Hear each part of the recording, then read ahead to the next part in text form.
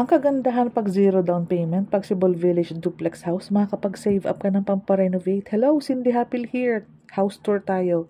Si Pagsibol Village po is very affordable na duplex house na may two parking area. Ang lot area is 54 square meters. Ang floor area po is 45.5.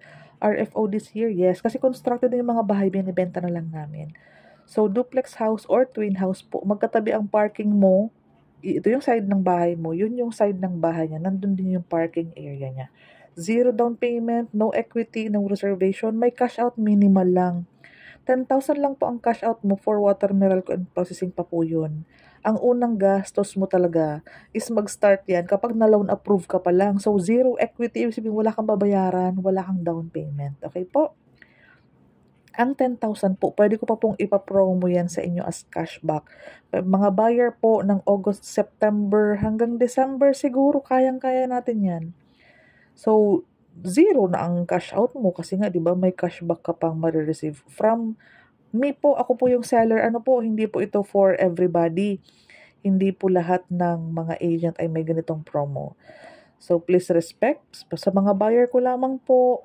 Um, may in-offer po akong promo taga Pagsibol Village po ako. Kaya kung gusto mong i-visit yung model house, yung site, yung location mismo, daily tripping and reservation, matao po, medyo madaming nakabooking kapag weekdays, ay weekends.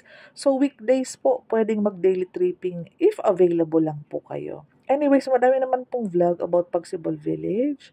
Ayan, pwede na po nating sipatin yung mga ibang vlog na uploaded na po. Ito po ay 1.5 million ang TCP. 10,000 ang cash out. So, ang, so, di ba, zero down payment. So, wala kang babayaran after mo mag-cash out ng 10,000. Antayin mo na lang yung loan approval. Basta pagtulungan na lang natin makomplete yung mga requirements mo. And then po, di ba, mag-filing this year, estimated early next year turnover na. Si pag-ibig kasi po, ang housing loan natin is pinoprocess po baga. So, abutin pa yan ng mga 5 months, approved loan take out na po yan. So, hindi ka nag-antay ng 2 years, di ba? Kasi wala ka naman pong binayaran na malaking cash out. Hindi ka inantay ni developer mag fully paid ng equity kasi zero siya.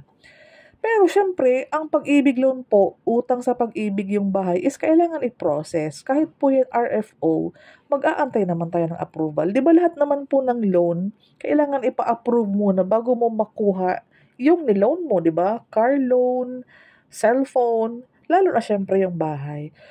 Tara, mag-tripping tayo.